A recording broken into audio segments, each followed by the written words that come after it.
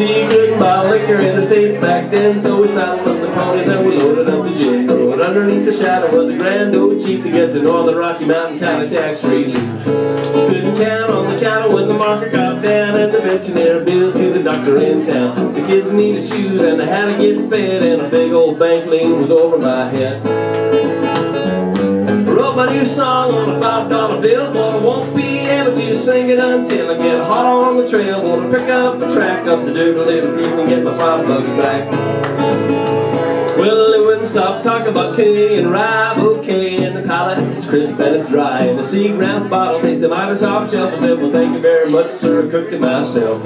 Of course, that didn't wash with the boys down south, judging by the stream of color coming out of their mouth. I can't figure why, cause where I stood, I got just as damn drunk as any store-bought would. Wrote my new song on a five dollar bill, but I won't be able to sing it until I get hot on the trail. Wanna pick up a track of the doodle doodle thief and get my five bucks back. Do we have a few American folks here tonight? Okay. Here's the deal. I'm going to explain something to the German people. They may not know about Canadian American geopolitics.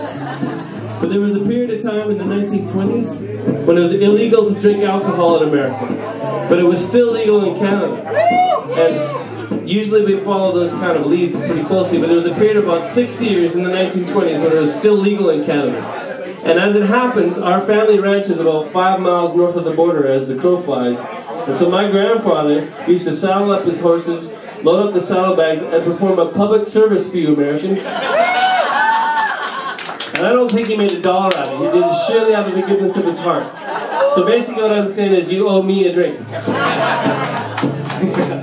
He comes storm across the border with six and eight guys, some damn fool saw fit to deputize. There weren't no sheriff nor marshal inside. Guess the lawman was up to drinking whiskey all night. He said, give me all your money, but I got the his first. I took his Colts to and the whole third verse. He picked my back pocket, worked the five bucks loose. I had tucked in behind a can of Copenhagen snoose. New song on a five dollar bill, but I won't be able to sing it until I get hot on the trail. Wanna pick up the track of the doodle doodle thief and get my five bucks back. The doodle doodle double D, the son of a gun of a song, steal a chicken eat thief and get my five bucks back. Yeehaw! Thank you very much, everybody. Okay, let's get drunk. It's Friday.